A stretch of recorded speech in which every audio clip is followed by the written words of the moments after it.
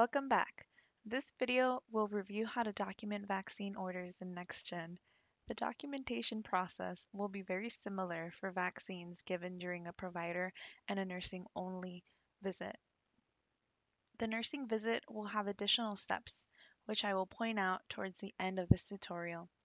Before beginning any documentation, double check that you have selected the correct patient, location, and provider. Location will be very important for maintaining an accurate vaccine inventory. So once you've opened the patient's chart, start your visit at intake and select your specialty and visit type. In this example, I selected nurse visit. In the reason for visit section, go ahead and type immunizations, or in this case, immunizations only for this nursing visit, and select add. In the HPI details, list all the vaccines given today.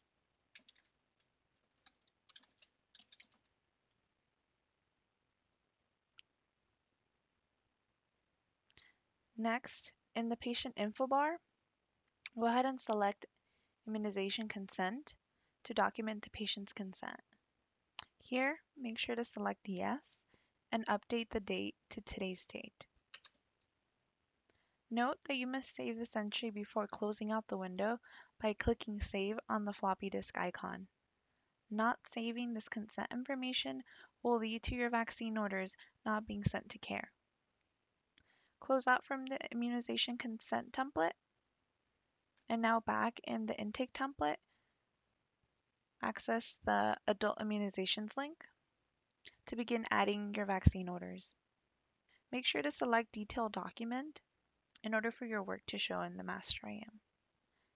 Now scroll towards the middle section of this template until we reach the adult vaccine questionnaire. and complete the following questions and mark whether or not the patient also brought the immunization record with them. Then save and close. Scroll towards the top of the template and select New Order. Before starting, make sure to indicate that this has been a verbal order by checking off on the top right next to verbal order. At the bottom of this window, you'll see that there will be three tabs, which you'll use to navigate to complete the order. Start off at the General tab. Here you will verify information such as the ordering provider and the location. Make sure to change as needed. However, do not change the insurance status information. Next, we'll move on to the Select Vaccines tab.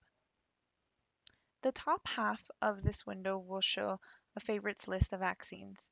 Here we'll go ahead and choose uh, MCV4 as our example. When you select the very first vaccine, you'll note that this review allergies window will show. Go ahead and answer all the following questions. We'll say that this patient is not allergic to any of the following. So we'll note no to all allergies and save. Once you've completed reviewing allergies, you'll notice a check mark next to the allergies section on the top right of this window.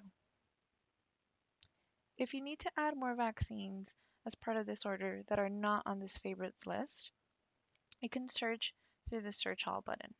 For example, we will look for the flu vaccine.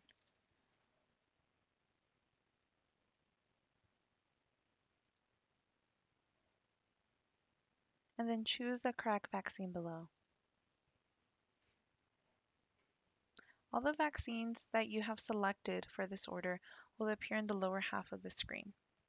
Next to each vaccine, select Counseled to indicate that you've spoken to the patient about these vaccines. Move on to the Vaccine Details tab. The VIS screen will soon appear. If you provided documents in Spanish, you can change the language on the bottom of this window by clicking down on the drop-down menu and unchecking English and checking off Spanish. To save these changes, select Document as given. In this vaccine details section, start by selecting the funding sources for each vaccine at the top of this window,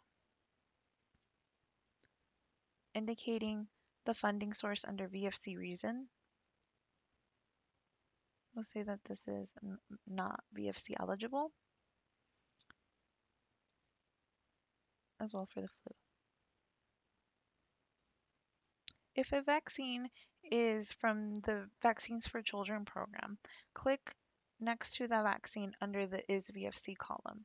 Now highlight the first vaccine and in the middle section of this window, we'll go ahead and indicate the lot number for this vaccine. And you'll notice that other information will soon populate.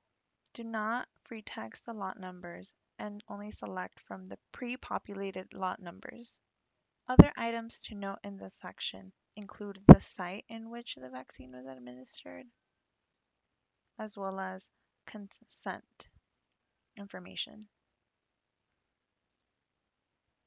Next, we can move on to the second vaccine and repeat these same steps again by selecting the lot number from this pre-populated list, indicating the site which the vaccine was administered, and who gave consent.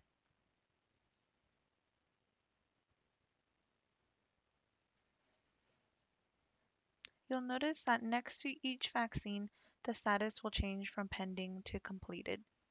Once all your vaccines as part of this order have been marked completed, go ahead and save and send at the bottom right of this window. If you select save, your order will be saved into NextGen, but will not be sent to CAIR. So save and send. Once you have saved and sent your order to CAIR, go ahead and generate the immunization record by scrolling towards the middle of this template and selecting immunization record.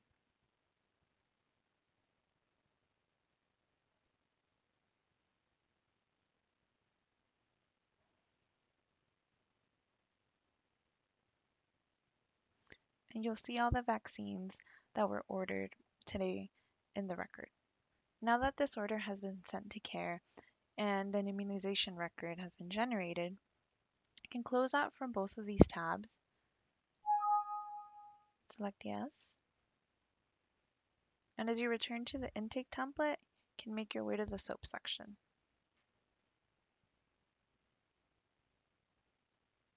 Scroll towards the bottom of this template until you reach the assessment and plan, and click on assessments. Here you will add the assessment code Z23 by clicking into diagnosis code lookup.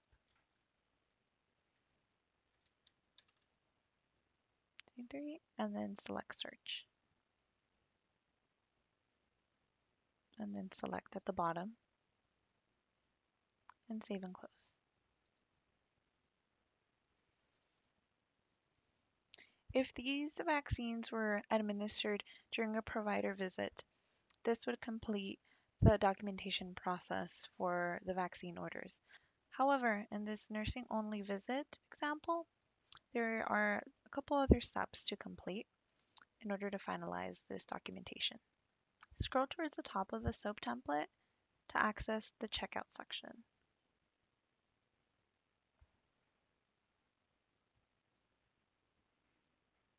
and complete any pending items in the checkout template. Next, make your way to the Finalize template